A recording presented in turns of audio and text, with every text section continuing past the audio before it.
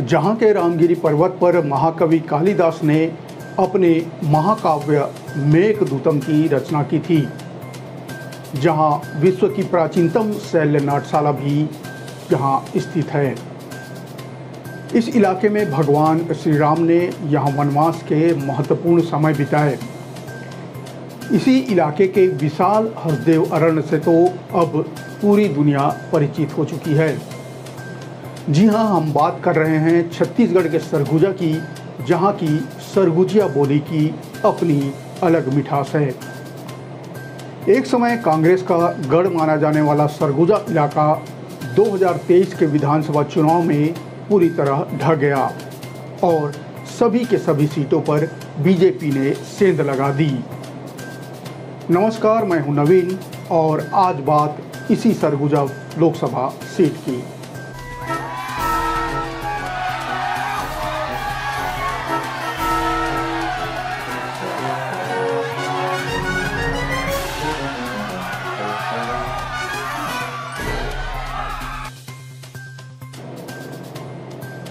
सरगुजा छत्तीसगढ़ का सबसे ठंडा क्षेत्र माना जाता है।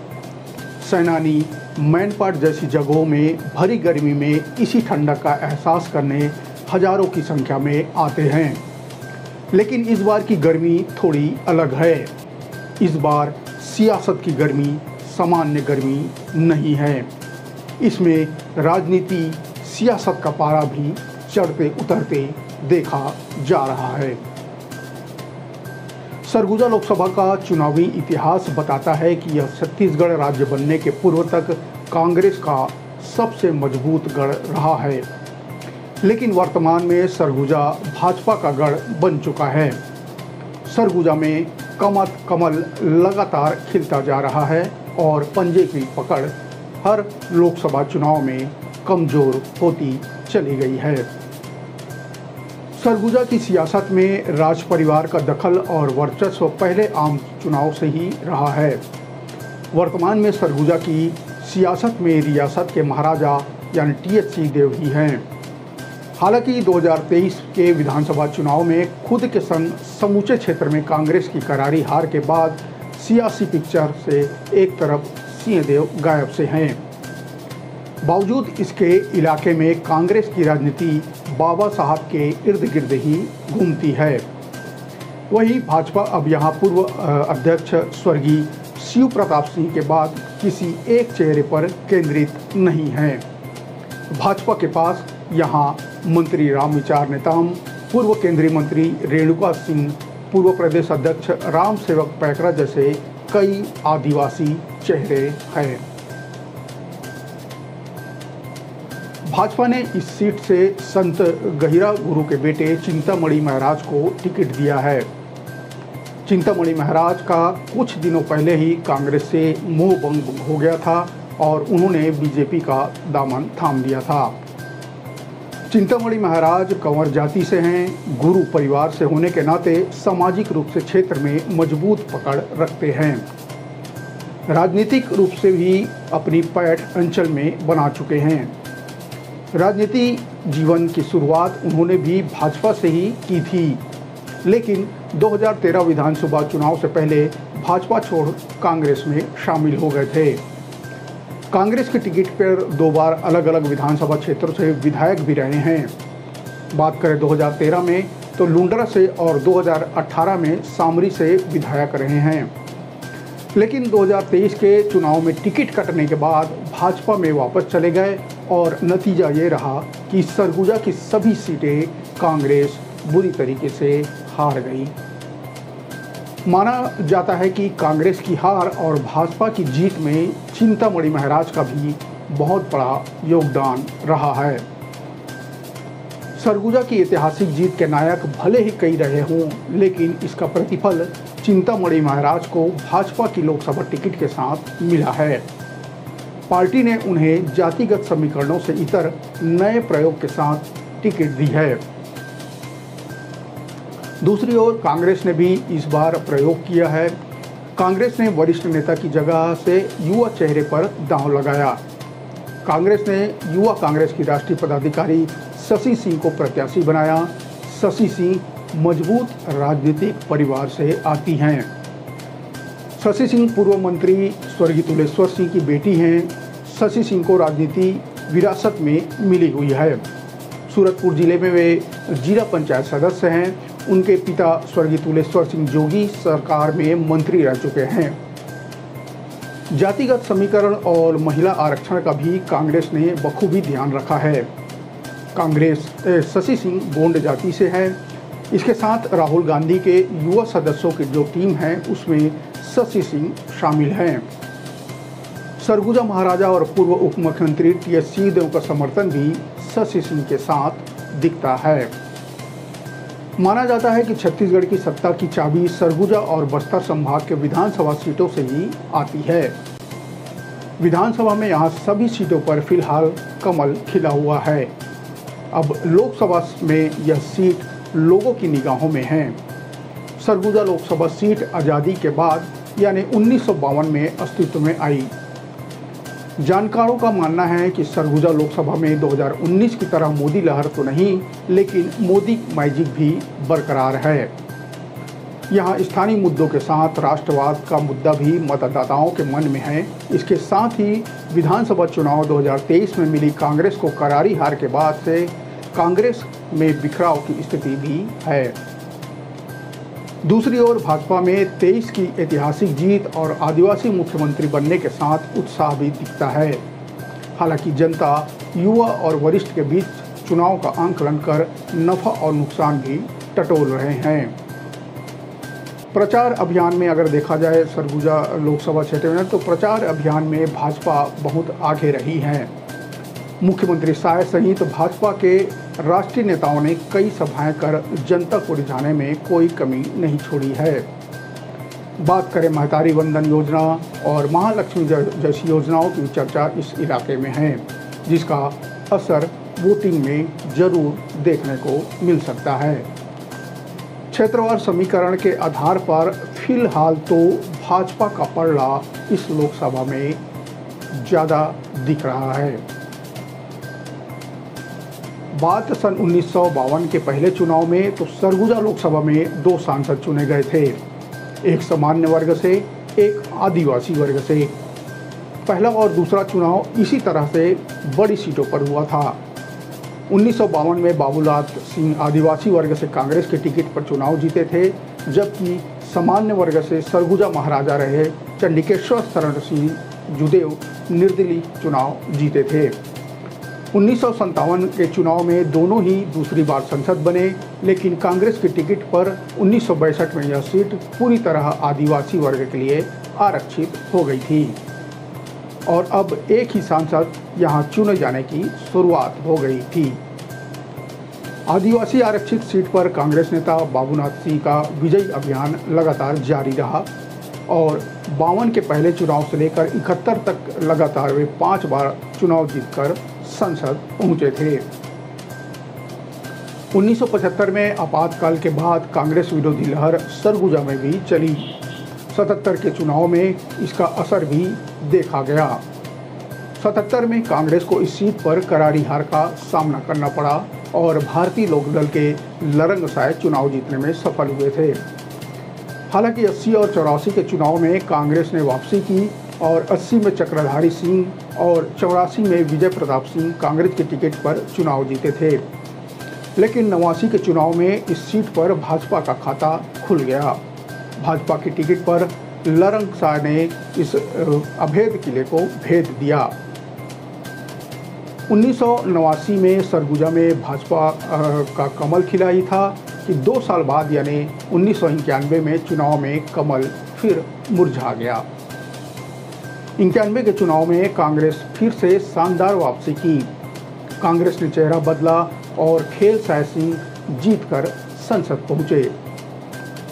बात उन्नीस सौ छियानवे के चुनाव की तो खेल साय सिंह के साथ कांग्रेस को फिर जीत मिली। हालाँकि अंठानवे के चुनाव में लरंग साय के सहारे फिर कमल खिल गया। लेकिन निन्यानवे के चुनाव में भाजपा की हार और खेल साय के संग कांग्रेस की एक और जीत हुई। बात सन 2000 की तो मध्य प्रदेश से अलग होकर छत्तीसगढ़ अलग राज्य बना। राज्य बनने के बाद 2004 में लोकसभा का पहला चुनाव यहाँ हुआ। इस चुनाव के पहले 2003 के विधानसभा चुनाव में कांग्रेस के गढ़ को भाजपा जीतकर सरकार बना चुकी थी। 2004 के चुनाव के दौरान राज्य और केंद्र में दोनों में भाजपा की सरकार थी। इस तरह भाजपा हर दृष्टि से मज़बूत स्थिति में थी। इसी का फ़ायदा भाजपा को मिला और सरगुजा में अब की बार कमल ऐसा खिला कि वह मुरझा नहीं पाया। 2004 में सरगुजा से भाजपा के टिकट पर नंद कुमार साय चुनाव जीते और संसद पहुँचे। हालाँकि 2004 में देश में कांग्रेस गठबंधन की सरकार बनी थी, लेकिन इसका असर 2009 के चुनाव में सरगुजा पर नहीं पड़ा और कमल खिल्ला जारी रहा। 2009 के चुनाव में भाजपा ने चेहरा बदला, लेकिन सरगुजा वासियों ने मन नहीं बदला। 2009 में, नौ के चुनाव में भाजपा ने मुरारी लाल सिंह को टिकट दिया और वे भी जीतकर संसद पहुँचे। सन 2009 के बाद 2014 और 2019 में भाजपा प्रयोग करती चली रही और चेहरे में बदलाव भी जारी रहा। 2014 के चुनाव में कमल भान सिंह जीते तो 19 के चुनाव में पहली बार इस सीट से महिला सांसद के रूप में रेणुका सिंह जीती और संसद पहुँची। उन्नीस सौ बावन के पहले चुनाव से लेकर 19 2019 के चुनाव तक सरगुजा सीट में गोंड जाति का ही वर्चस्व रहा है, क्योंकि भाजपा और कांग्रेस दोनों ही पार्टी की ओर से इस जाति से टिकट दिया जाता रहा है। लेकिन 2004 के चुनाव से लगातार नए चेहरे को चुनाव में उतारने वाली भाजपा ने इस बार कंवर जाति से टिकट देकर सबको चौंका दिया है। क्योंकि आबादी के हिसाब से इस सीट पर गोंड जाति की बहुलता है, सरगुजा संसदीय क्षेत्र में विधानसभा की आठ सीटें आती हैं। 2023 के चुनाव में बीजेपी ने इन सभी सीटों पर जीत दर्ज की, जबकि 2018 के चुनाव में सभी आठ सीट कांग्रेस के पास थी। छत्तीसगढ़ राज्य बनने के बाद से अब तक कांग्रेस यह सीट नहीं जीत पाई है। 2018 में इस संसदीय क्षेत्र की सभी आठ सीटों पर जीत के बावजूद कांग्रेस 2019 का लोकसभा चुनाव हार गई थी। सरगुजा में कांग्रेस के वर्चस्व को लरंग साय ने खत्म किया था। बाबूलाल सिंह सरगुजा सीट से लगातार पाँच बार सांसद चुने गए। वे उन्नीस सौ बावन से उन्नीस तक लगातार जीतते रहे। 1977 में उन्हें पहली बार हार का सामना करना पड़ा और लरंग साय और खेल साय सिंह ने इस सीट से तीन तीन बार सांसद चुने गए हैं। खेल साय सिंह लगातार दो चुनाव जीते थे, जबकि लरंग साय लगातार वो भी दो चुनाव जीते थे, नहीं जीते थे।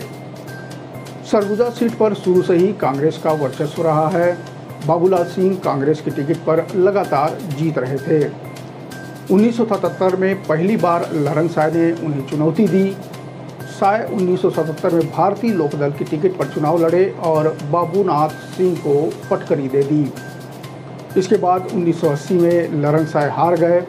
लरंग साय उन्नीस और उन्नीस में बीजेपी के टिकट पर सांसद चुने गए थे।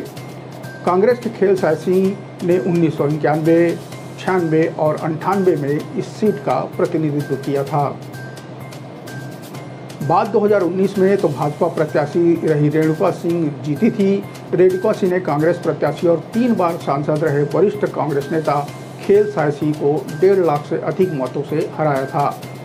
रेणुका सिंह को जहाँ छः लाख तिरसठ हज़ार सात सौ ग्यारह वोट मिले थे, जबकि खेल साय सिंह को पाँच लाख पाँच हज़ार तीन सौ अड़तीस वोट। वहीं तीसरे नंबर पर नोटा रहा था, जिसके हिसाब से उनतीस हज़ार वोट आए थे। गोड़वाना गणतंत्र प्रत्याशी आशा देवी चौबीस हज़ार मतों के साथ चौथे नंबर पर रही थी।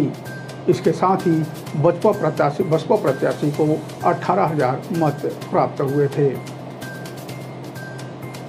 जातिगत समीकरण से इतर अगर वर्तमान में क्षेत्रीय भौगोलिक और राजनीतिक समीकरण को देखें तो भाजपा का पड़ला यहाँ भारी दिखता है। क्योंकि सरगुजा लोकसभा में शामिल सभी आठ विधानसभा सीटों पर भाजपा फ़िलहाल काबिज है। अंबिकापुर, सीतापुर, लुंड्रा सामरी रामानुजगंज, प्रेमनगर, प्रतापपुर और भटगांव, इन सीटों में तेईस के विधानसभा चुनाव में भाजपा ने भारी मतों से जीत हासिल की थी। इस लिहाज से कांग्रेस के सामने एक बड़ी चुनौती क्षेत्रीय भौगोलिक समीकरण को साधना भी है। 2019 के चुनाव में मत प्रतिशत के हिसाब से देखें तो भाजपा को तिरपन दशमलव चार और कांग्रेस को चालीस दशमलव बयालीस प्रतिशत मत प्राप्त हुए थे। 2019 के इस चुनाव में 75 फ़ीसदी से अधिक मतदान हुआ था। अनुमान है कि इस बार भी यह रिकॉर्ड बना रहेगा। सरगुजा में रेल और हवाई सेवा बड़ा मुद्दा है। इसके साथ ही साथ धर्मांतरण और हिंदू मुस्लिम का मुद्दा भी यहाँ हावी है। धार्मिक मुद्दों के अलावा कोयला खनन, विस्थापन और हरण हसदेव हसदेव हसदेवरण का मुद्दा भी यहाँ पर है। तो साथ ही साथ बेरोजगारी, पलायन के साथ ही साथ शिक्षा और स्वास्थ्य सुविधाओं का भी अभाव यहाँ मुद्दा बना हुआ है। सरगुजा की वर्तमान हालातों पर गौर करें तो दोनों पार्टियों के लिए फ़िलहाल राह आसान नहीं है।